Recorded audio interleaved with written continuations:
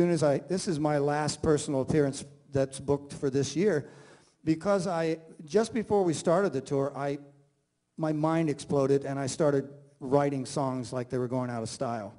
After I came back from the experience of doing the orchestral piece, which was so intense and I practiced it for three months, I actually thought, no, what am I going to do? You know, I hadn't written a song for a long time by then. And um, I tuned my acoustic guitar a little differently. I tuned the, D, the E string down to a D, and I tuned the G string down to an E. And all of a sudden I started finding all these new chord shapes and things that I couldn't have played in any other way. You know, it's a great way of breaking your habits.